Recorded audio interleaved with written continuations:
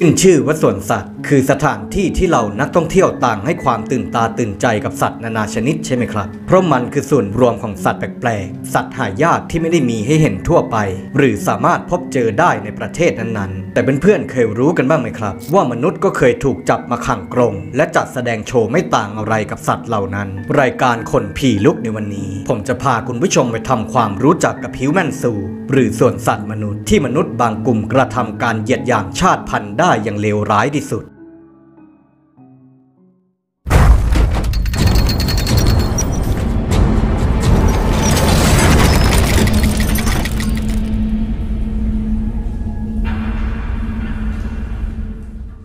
ส่วนสัตว์มนุษย์สืบเนื่องมาจากงาน Colonial Exhibition ในช่วงศตวรรษที่ 19 ที่ชาติมหาอำนาจมักจัดแสดงงานหรือนิทรรศการบนพื้นที่ขนาดใหญ่ มีทั้งการจำลองสิ่งปลูกสร้าง หรือนำศิลปะวัตถุจากต่างทวีปจากดินแดนที่ตนยึดครองมาได้ มาทำการจัดแสดง ซึ่งรวมถึงการจัดแสดงชนพื้นเมืองในหมู่บ้านจำลอง หรือก็คือการนำมนุษย์ตัวเป็นๆมาแสดงโชว์ โดยใช้ชื่อเรียกสวยหรูวิกอย่างว่านิทรรศการชาติพันธุ์วิทยา โดยนำชนพื้นเมืองทั้งผิวเหลืองและผิวดำจากพื้นที่ที่ตัวเองรุกรานหรือยึดครองไว้ได้ ที่ประกอบไปด้วยชาวแอฟริกา ชนพื้นเมืองเอเชีย ตลอดจนชนพื้นเมืองของอเมริกามาแสดงโชว์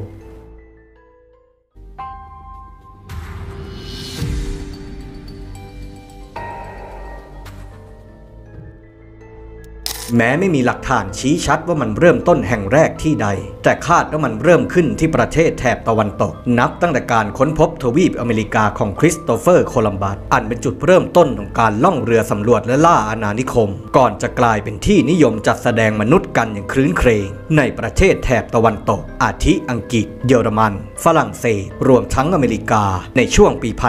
1870 ถึงปี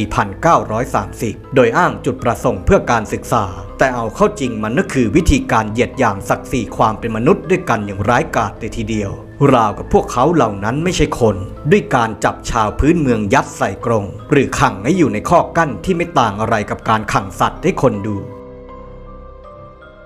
โดยเหล่าผู้ชมส่วนใหญ่คือบรรดาชาวตะวันตกหรือพวกคนผิวขาว ที่มีลักษณะทางกายภาพแตกต่างกับพวกที่ถูกขังอยู่ในกรงอย่างชัดเจนกรูกันเข้ามามุงดูคนที่แตกต่างจากพวกเขาด้วยความอยากรู้อยากเห็น นิทรรศการชาติพันธุ์วิทยา จึงสะท้อนได้เห็นถึงความด้อยกว่าทางวัฒนธรรม และบ่งบอกถึงความเหนือกว่าของสังคมตะวันตก ผ่านกลุ่มที่อ้างว่าวัฒนธรรมยุโรปยังคงบริสุทธิ์ ในขณะที่วัฒนธรรมอื่นๆ ถูกเรียกว่าป่าเถื่อน และทัศนคติแบบเหมารวมนี้ อาศัยแนวคิดที่ว่าวิถีชีวิตที่แตกต่างกัน นั่นหมายถึงถูกพระเจ้าทอดทิ้ง หลายครั้งที่ชาวพื้นเมืองถูกนำมาจัดแสดงโชว์ในสภาพเปลือยลอนจอนหรือมีเสื้อผ้าปกปิดแค่ช่วงล่าง อันยิ่งทำให้เราคนผู้ซึ่งเรียกตัวเองว่าผู้เจริญแล้ว มองพวกคนเหล่านี้ต่ำต้อยกว่าตนเป็นเท่าทวีคูณเลวร้ายไปกว่านั้นคือถูกมองว่าเป็นมนุษย์ที่อยู่ในช่วงระหว่างวิวัฒนาการจากลิง ก่อนจะกลายเป็นมนุษย์ที่สมบูรณ์แบบเหมือนกับพวกเขา so much to make myself gag. Five hundred pounds of cotton. Dang it. ตัวอย่างส่วนสัตว์มนุษย์มีให้เห็นอยู่มากมาย ไม่ว่าจะเป็นในช่วงยุคฟื้นฟูศิลปะวิทยาในปี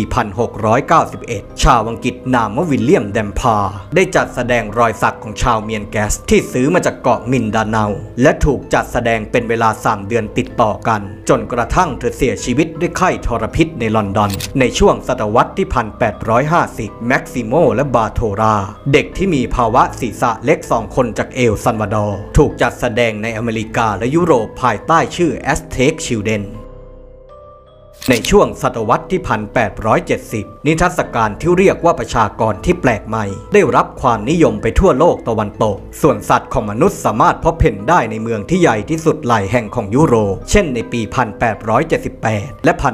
1889 ที่งาน Parisian World Fair ในฝรั่งเศส ชาวผิวสีกว่า 400 คน ถูกมาจัดแสดงในส่วนที่เรียกว่าหมู่บ้านนิโกร หรือหนึ่งในสวนสัตว์เก่าแก่ที่สุดอย่างม็อกเตซูมาในเม็กซิโก ไม่เพียงแต่ประกอบด้วยสัตว์มากมายเท่านั้น แต่ยังจัดแสดงมนุษย์ด้วยเช่นกัน อาทิคนแคระมนุษย์เผือกและคนหลังค่อม โดยมีผู้เยี่ยมชมรวมทั้งสิ้น 28 ล้านคน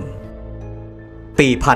1896 สวนสัตว์ซินซินนาติในอเมริกา ได้จัดแสดงโชว์ชาวอินเดียแดงเผ่าซู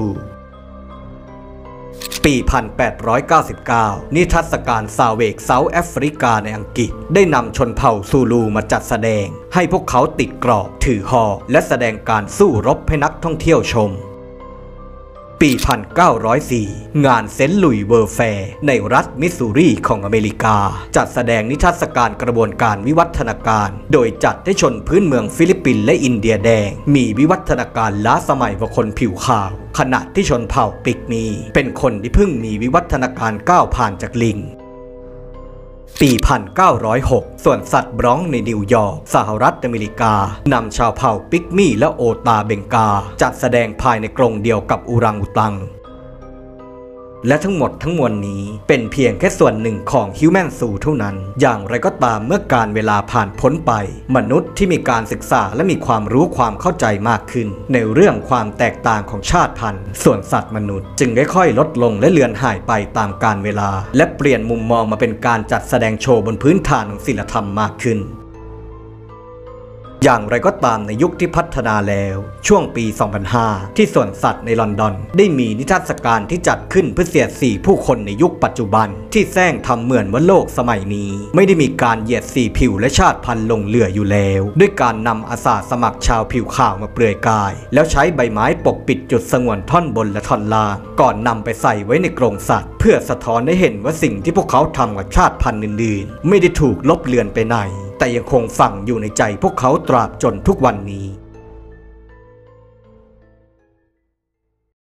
การเสียดสีเล็กๆ น้อยๆ เหล่านี้ ได้สะท้อนให้เห็นถึงการกระทำที่อย่างศักดิ์ศรีเพื่อนมนุษย์ด้วยกันในอดีต ซึ่งย้ำเตือนผู้คนในยุคปัจจุบันให้ฉุกคิดได้ว่า การเหยียดผิวและชาติพันธุ์ยังคงไม่หายไปไหน มันเพียงแค่ปรับเปลี่ยนรูปแบบให้เข้ากับยุคสมัยก็เท่านั้น ก็จบกันไปแล้วนะครับ กับ Human Zoo ส่วนสัตว์มนุษย์ หากคุณชอบคลิปนี้ก็อย่าลืมกดติดตามเอาไว้ด้วย เพื่อจะได้ไม่พลาดรับชมหลากหลายคอนเทนต์สุดพิลึกและพบกันใหม่ในคนผีลุกคลิปหน้า เพราะโลกใบนี้มีเรื่องเหลือเชื่อเต็มไปหมด